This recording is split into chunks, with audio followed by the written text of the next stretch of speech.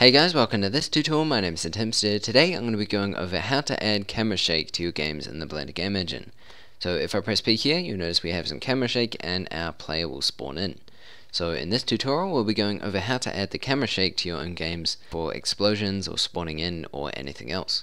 So first of all, let's go up the top here, New, open up a new blend, uh, Blender Game Engine, GLSL, animation frame rate of 60. Now what we're going to do here is press Shift A, add a plane, scale it out, and then what we're going to do is give it a new material. Let's make it blue, no specular, and then over here choose texture view. Right, and then numpad 0, and there's our basic setup. So here, let's go game logic. So cursor down to the bottom corner and drag upwards, and here, timeline and move it up, frame 0. Select the camera here, press I, and insert rotation.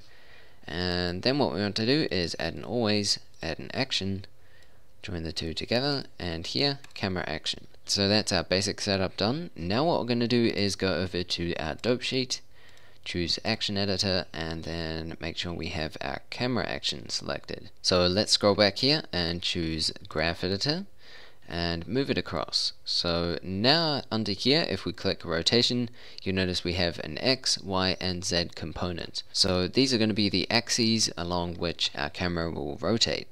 So if we go into local and we can see the Y is sort of left and right and the X will be up and down. So basically what that means is we just need to focus on X and Y as Z doesn't really matter. So now what I'm going to do is move it across a bit more, move this across and then over here select the plus or press N and then under here we have a modifiers tab. Now first of all I'm going to just select the X by itself and then I'm going to move all the way up here. So scroll out and move up. So you can move around by holding down the scroll wheel and just moving around like this. And you might need to scroll out to find the other axes. Alright so we want the red one the x-axis and make sure it's selected left click. And then here we're going to choose a noise modifier now this here is going to add lots and lots of random values. Alright, so now what we want to do is we want to limit for how long this goes. As you can see when we scroll out it just seems to go continuously. So we need to limit this to a set animation time. So to do that, let's move it across and restrict frame range. Now here you have start and end. These are basically the ones you want to focus on. So I'm say going to make mine 40. Now the in and out here is basically how many frames it starts to smooth off the effect. I'm going to maybe choose close to halfway for this, maybe 25 or even 30 and we only want a few frames at the start. So now what we want to do is we want to change our scale.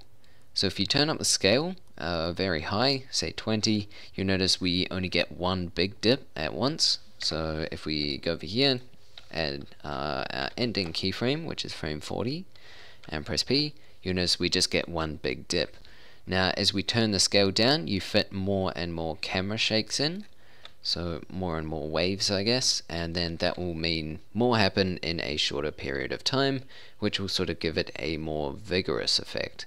So if you want lots and lots to happen at the same time, very chaotic, you can turn down the scale to something like 2. So I'm going to set the scale here to around 5, and then the strength here I'm going to turn down to maybe 0.5 roughly. And so now if you press P we have a nice little camera shake going. Okay so let's go ahead maybe add some padding on this side as well. 14 and turn this up a bit more. Now also what you can do is change the other settings here. Offset is basically just changes uh, what sort of camera shake you're getting.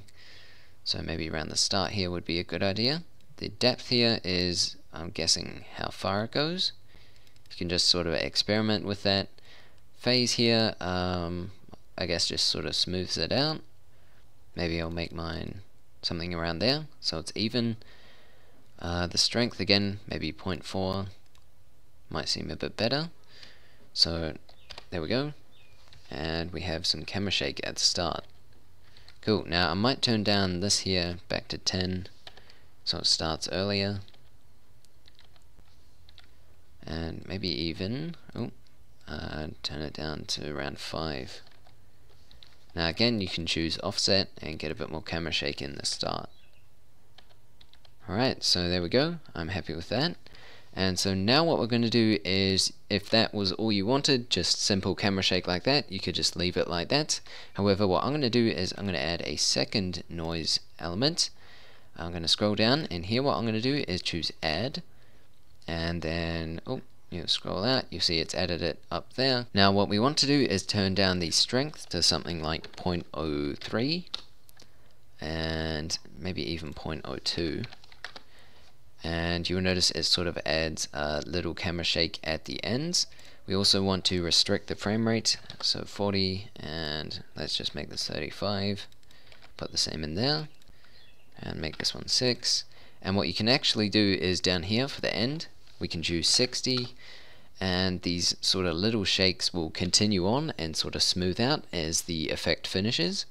So here, if we select 60, you notice we have our main camera shake, and then it will sort of just stutter off at the end there. Now you notice it's not very noticeable, so maybe let's make it 0.05. Um, yeah, and you'll sort of notice how it finishes. What we can do is offset it a bit so it's a bit more obvious, and also we can turn up the scale so it happens a little bit more frequently. So maybe around 2.7 and you notice it sort of stutters off at the end there. Again, that's only something that you can add if you want to. You certainly don't have to if you prefer not to. Uh, but that's just sort of a key element that I used in mine. Uh, the phase here might change a little bit as well and add some depth. Alright, so I think that should be good. Uh, maybe just mess around with the scale a bit more. Alright, cool. So now what we can do is we can go ahead and go up the top here, choose copy, and then go over to the y-axis, and then choose paste. And so now we'll have the same ones. So now we'll scroll out, and you'll notice we have y down the bottom here, and that will have the same animation. Now obviously we're going to choose offset, so we have some randomness to it, and it's not the same. And as you can see here, we have some camera shake in different directions. Cool, so if you don't like the strength so much and you just want sort of up and down movement rather than side to side, you can just use that, point two. Uh, and again, if you don't like this, you can also remove that as well. Uh, you can also use subtract if you'd like to, so it goes in the opposite direction. Um, yeah, something like that should be good. Now, maybe scale here is a little bit much, so let's make it 0.04.